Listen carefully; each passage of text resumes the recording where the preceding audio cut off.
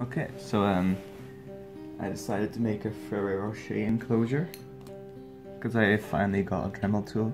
It's like, I this is the moment, and I'm probably gonna have my Psalmopoeus pulcher in it because he she's molted a few times now, and I feel like he'll be able to do with an upgrade. Keeping in mind this is my uh,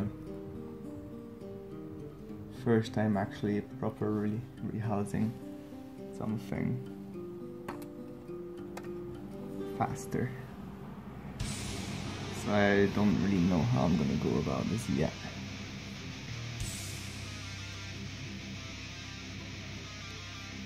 I know the T's over there.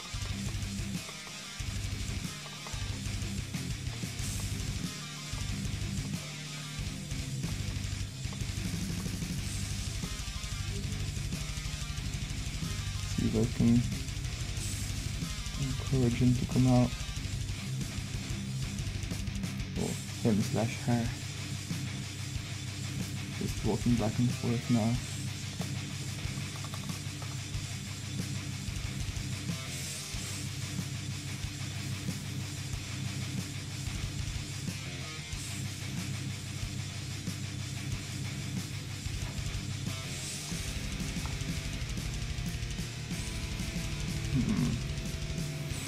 Quite nervous because um, I rehoused the Cambridge cambridgei from Spider's World when I got that one. And that one just bolted away and scared the living crap out of me.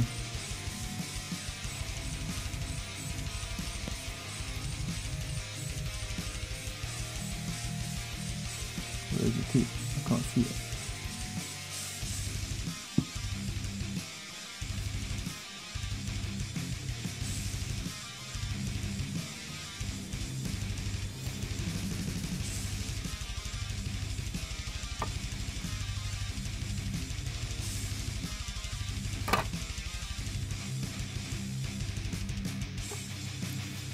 Alright. I'm actually gonna pause and take a few pictures here, so sorry for that. Alright, so um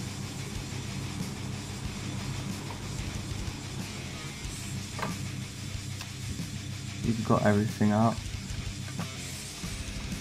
All that's left is to prop the T into its new home. Please don't bolt though. Really don't want you to bolt.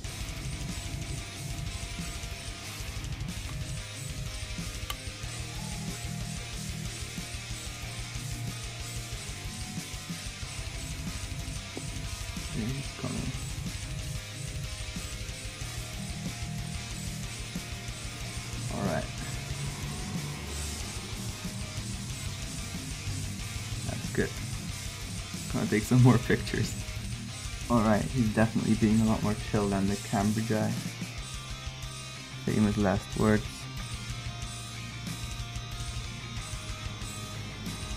Get in there. There we go. And he's in, he's rehoused. That went smoother than I expected it to go.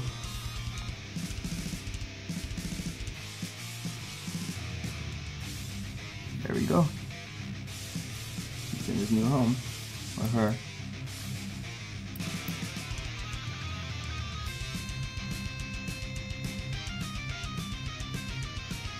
Here.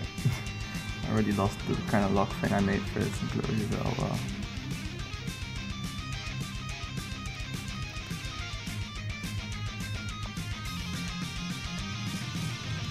We go.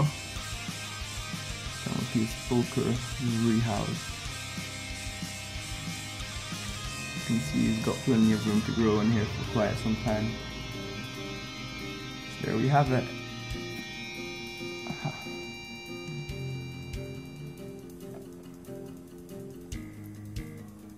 So now I'm gonna tell you a bit about how I made this enclosure and stuff.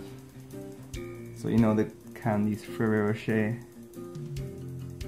Basically, if you've seen the Dark Dance videos, I bought acrylic hinges from eBay Then I bought um, a larger type of Ferrero Rochers. These were 8 euros and something, which is, I mean, I guess a bit on the expensive side for a plastic enclosure, but looks really nice. And um, I drilled holes in it along the sides, and then a few on the back. I've got six small ones in the back, and I've got one, two, three, four, five, six, seven, eight, nine, nine rows of two on the top, and ten rows of two on each side. I've got a water dish in here.